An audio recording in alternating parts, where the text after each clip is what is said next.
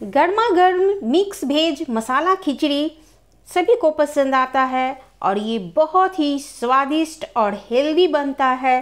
तो ये मसाला खिचड़ी हम कैसे बनाए हैं, ये जानने के लिए बने रहिए मेरे साथ।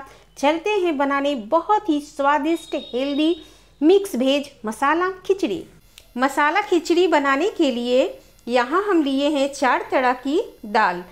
ये साबुत मूंग है, ये मूंग दाल है ये मसूर दाल है और ये रहड़ दाल है।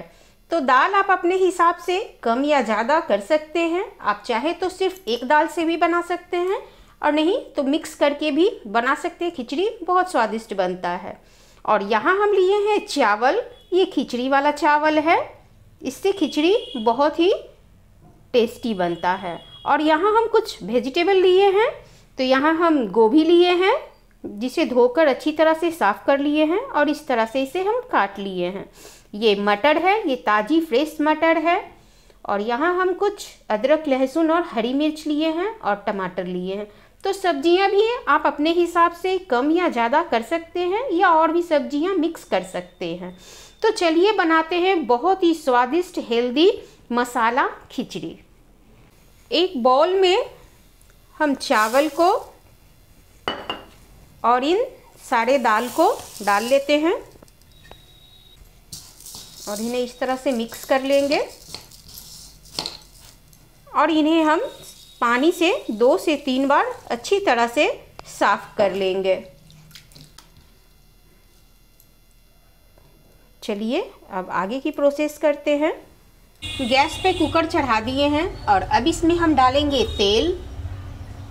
तेल हमारा गर्म हो गया है और अब इसमें हम डालेंगे साबुत जीरा, एक तेज पत्ता दो हरी मिर्च, एक टुकड़ा दालचीनी का। इससे खिचड़ी का स्वाद बहुत अच्छा आता है।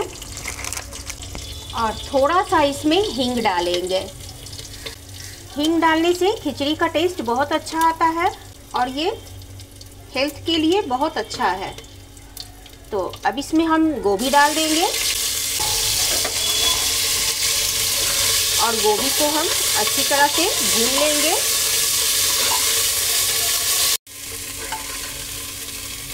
तो गोभी हमारा अच्छी तरह से भुन गए हैं। और अब इसमें हम डाल देंगे अदरक लहसुन, जिसे हमने कूट लिया है। और इसे भी मिला लेते हैं। अदरक लहसुन को भी हम गोभी में हल्का सा भून लिए हैं, गोभी के साथ। और अब इसमें हम डाल देते हैं ये टमाटर, जिसे हमने काट लिए हैं छोटे छोटे टुकड़ों में।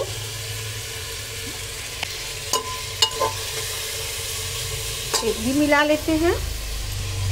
और अब इसमें हम मटर डाल देते हैं। और इन सबको हम अच्छी तरह से मिला लेते हैं। ये हमारा मसाला खिचड़ी बहुत स्वादिष्ट बनता है। आपको इस खिचड़ी में टेस्ट और हेल्थ दोनों मिलेगा। तो इस तरीके से आप ज़रूर बनाइएगा खिचड़ी। और अब इसमें हम डाल देंगे मसाले। तो यहाँ हम एक चम्मच हल्दी पाउडर डालेंगे, एक चम्मच धनिया पाउडर और आधा चम्मच से कम मिर्चा पाउडर डालेंगे। तीखा आप अपने हिसाब से कम या ज़्यादा कर सकते हैं, लेकिन अगर आप बच्चों के लिए बना रहे हो तो तीखा थोड़ा कम ही डालें। और मसालों को हम अच्छी तरह से मिला लेते हैं।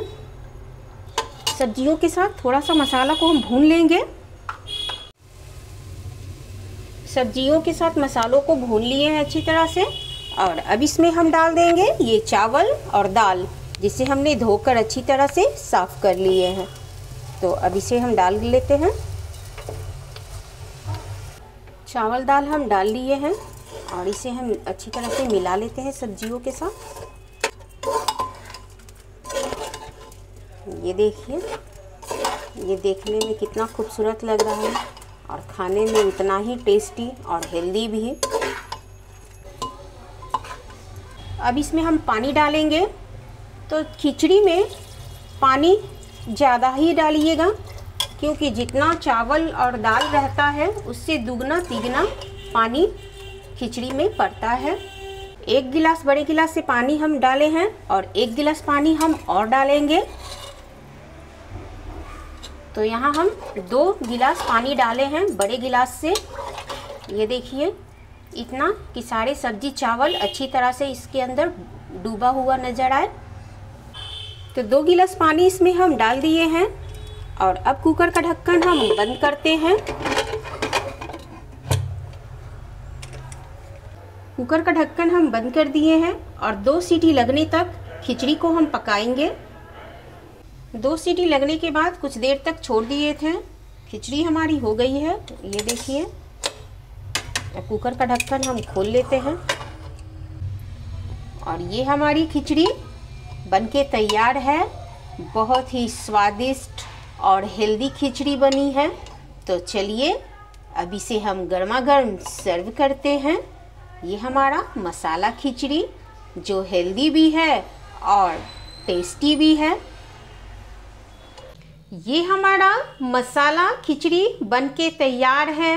ये बहुत ही स्वादिष्ट बना है और इस खिचड़ी को और भी टेस्टी हेल्दी स्वादिष्ट बनाने के लिए यहाँ हम डालेंगे एक चम्मच देसी घी, जिससे हमारी खिचड़ी और भी स्वादिष्ट बनेगी।